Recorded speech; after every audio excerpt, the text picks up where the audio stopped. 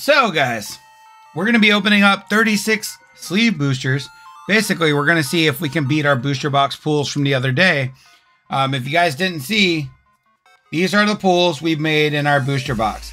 Two beautiful Stellars, two beautiful IRs, two beautiful A-Specs, a not so beautiful full art, and a beautiful SIR Hydrapple EX, which once again, still so cool that my very first booster box of Stellar Miracle and Stellar Crown had the same card.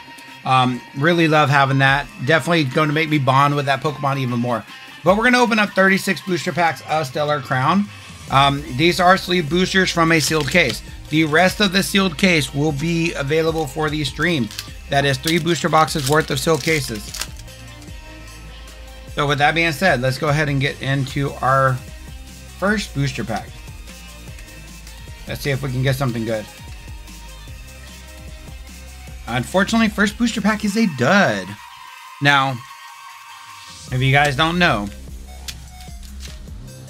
these products, sleeve boosters, they're luck. It is super luck based. Either you're gonna pull absolute insanity, or you're oh, please, please, please, please, be the gold stadium. Please be the gold stadium. Bravery Charm is nice because it will have some nice resale value. But please, please, please be the Gold Stadium. Let's see. Oh, shit. It's Terapagos, and he is upside down. Don't know why he's upside down, but I will take it. Terapagos EX. Just recently uh, pulled one with Pokepelli on stream, Japanese. So I already own this card. Beautiful card nonetheless. A gold is very nice. So we will take it. Man, I was really hoping for the stadium because being upside down, right? You don't see the basic that's in the corner. So I really thought we either had the stadium or bravery charm, and I was really hoping for the stadium. But Terapagos decided to be a funny turtle and be upside down. And then my heart sank a little bit when I seen the turtle.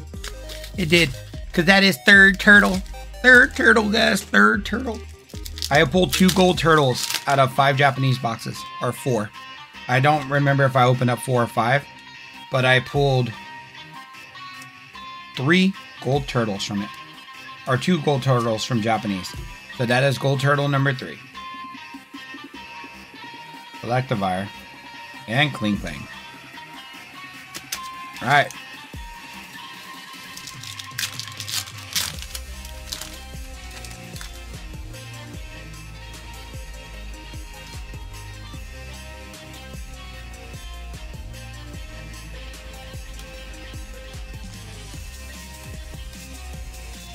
Palooza. Reshiram. And Credilli. Alright, so sleeve boosters are starting off pretty uh, cold. I mean, I know I say that as we got a gold Terapagos sitting in the background. But I think we're, what, six packs in with only one hit. But the thing with sleeve boosters is, once again, they're very luck-based. We can go 12 straight packs with no hits. And then we'll get the next six, all big hits back-to-back. Like, they're not, like, a booster box where it's kind of like mixed around or anything like that. It can absolutely be like this. Ooh, is that the stadium? Is that the stadium? God damn, what is the deal with this turtle? what the fuck is the deal with this turtle? You know what though? I won't mind it if the sleeve case every like four packs was a turtle. Like, I'll take gold turtles if it's gonna be that string. Like, if there was a factory era where the sleeve case is overly abundant with gold turtles, I'll take it. But man, every time I want that freaking gold stadium. Uh, I think Rayquaza or Rayquaza on Twitter pulled it, and after ever since I seen it that day, I've been wanting that card. Something about that gold stadium is just so pretty. So with that being said, I'm gonna slide these up. I'm gonna put those there. That's insane. Two gold turtles being the first two hits. And they're upside down, which is even stranger. Like, they were both upside down. So it wasn't like a one-off factory error. It's like the gold somehow ended up all upside down.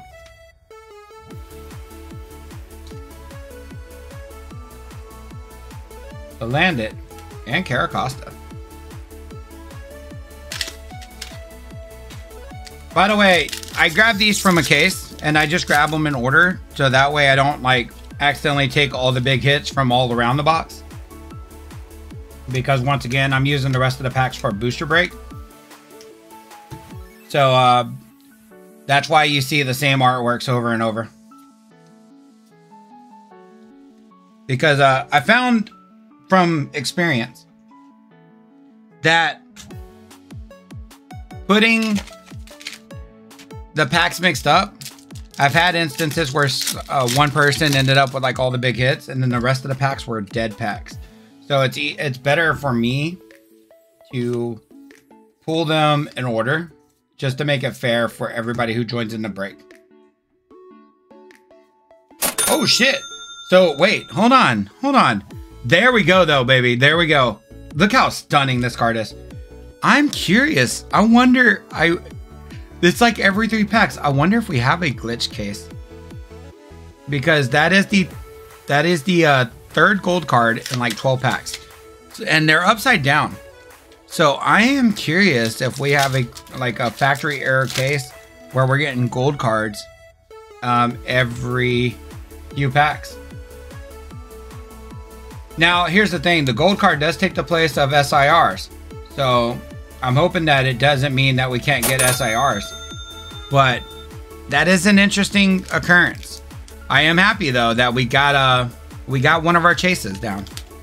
I will take Area Zero Underdepths any day of the week. Beautiful card. Now, if we get a gold, I don't mind Bravery Charm because I got my chase. And I don't mind a um, turtle number five. But I am happy to keep just those two turtles because now I have my turtle squad. The four Ninja Turtles. Turtonator and Klinklang. By the way, I did want to point out that we've already matched booster box ratios on textured cards because we've gotten three golds and we've gotten one full art Dashman. And I know I didn't spend a lot of time talking about Dashman, and I apologize for any Dashman fans out there.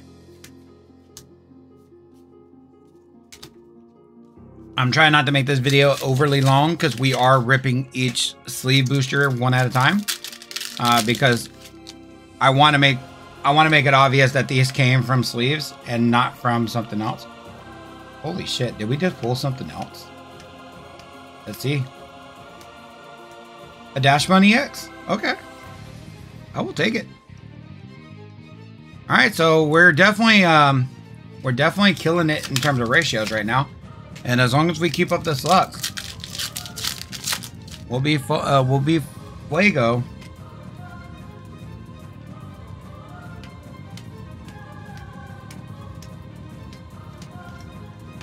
Alright, so let me move uh, the stack of bulk out of the way.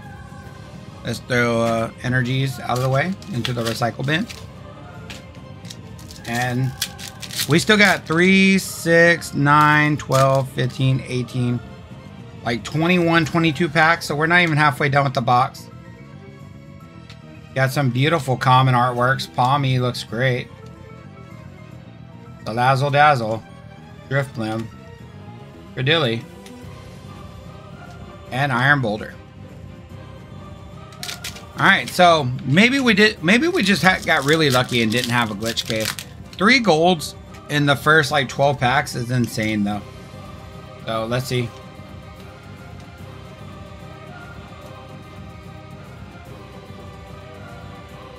Okay. So now that we hit area zero, Lacey and Briar SIR, and the Squirtle, Bulbasaur, and Re uh, Reboot are my chases. Let's hope that we can get at least one of those with the rest of these packs.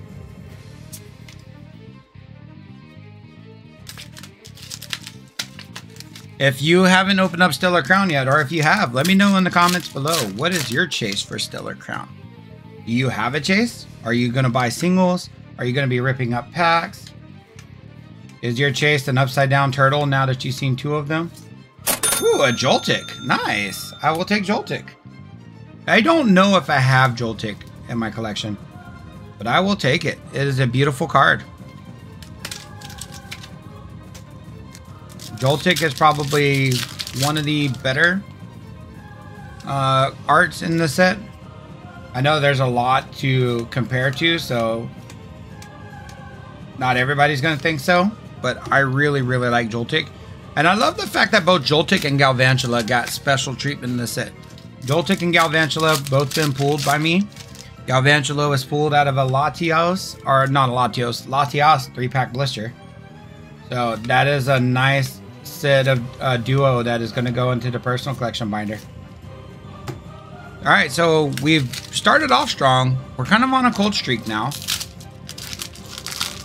Let's see if we can uh, regain that cold streak.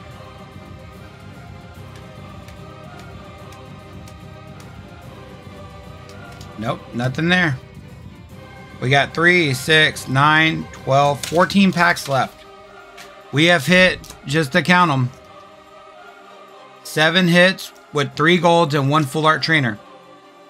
So out of these 14 packs, to beat the number of hits, we need 6 more hits.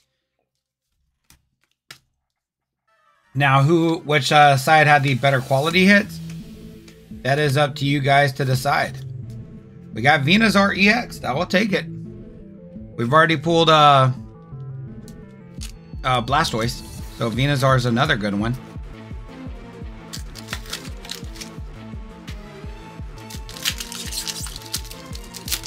Alright, back. Fighting with me there. Ooh, got an ace back. That's nice. Hopefully it's one of the ones we haven't seen. We've seen Sparkling Crystal and the Tree. I think the tree is the most playable one, so I wouldn't mind seeing the tree again. Did not want to see Sparkling Crystal again.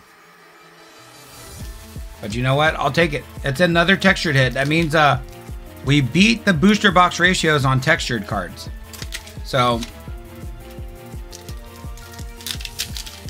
that's uh that's at least somewhat better. Looks like we might have something back there. If not, then that hollow rare just tricked me. Because it is really shining like it's something else and not a hollow rare. Oh, it was a Cinderace. Nice. So we're definitely pulling all the different Terras as well as we open up these products. Um, I think the only one I'm missing... No. Is there another Tera besides D3? Cinderace, Lapras, Terapagos. I think there's a fourth one. I'm trying to remember who it is might not be in this set, and I might just be thinking about another set that is coming up. But I think there's four in this set. Area Zero, Lumineon, Diancie, come on, Illustration Rare, Klinklang, and a Bouffalant. Alright, so three, six, nine, ten more packs remaining. Let's see. Come on, pack number 10. Alright. So these are the Lapras pack arts. Lapras is a beautiful card. Would love to get the full art Lapras in this set. If not the full art Lapras. Oh, there, there's no gold Lapras. Gold Lapras got revealed for uh, the upcoming UPC as a promo. So did Gold Cinderace. Both of those cards, as well as the Rainbow Terapagos, are the Full Art Terapagos, are promos in the upcoming UPC featuring Terapagos. So. Okay, Lapras. You got seven packs left, Lapras. I need you to give me something big. Give me another IR. That's the one thing I can say at least about the um, booster boxes is sleeve boosters. It is very, very luck dependent on if you hit an illustration rare. Lucario EX. With booster boxes, they're pretty much guaranteed at least two in a booster box. You can open up 36 packs of uh, sleeves. You can get one, you can get zero, and it's it literally is random. So once again, you're comparing uh, like a set, I'm to say a semi set ratio versus pure randomness when you're buying 36 sleeve boosters versus a sealed booster box. But the 36 sleeve boosters can do something like this. Give us a banger with the Turtonator, the Shy Boy. Seems like he's going over to his neighbors. Mom sent him over to ask for a cup of sugar. And he's a little bit too shy to ask for that cup of sugar. I don't know if I own that card, and if I don't, that is 100% a card to go in the binder. Best Turtonator art we have gotten that is not the Akira Egawa art. Actually, I think my two favorite Turtonator cards both come from the set because the Akira Egawa Turtonator is in the set, and so is the illustration rare, the Shy Boy. Fletchling. Grimmsnarl. And then Cinderace Rainbow. I say rainbow because it's the rainbow border. Like, look how rainbow it is. Like, it's super rainbow. Beautiful card.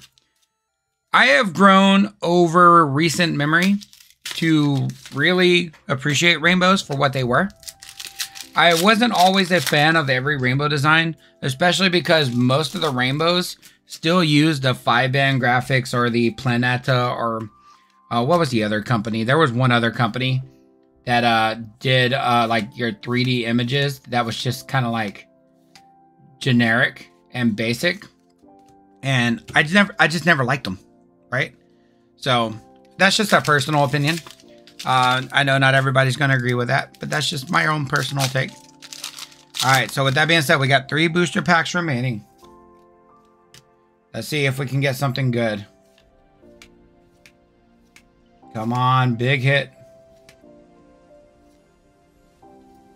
Got a Lacy, but not the one I'm looking for. All right, two packs remaining.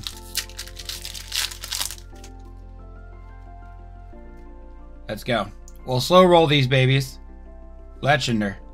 Ooh, do we got something back there? I really hope so.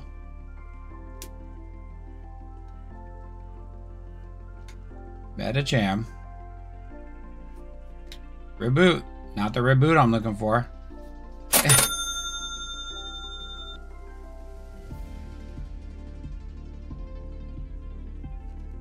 mean, I guess.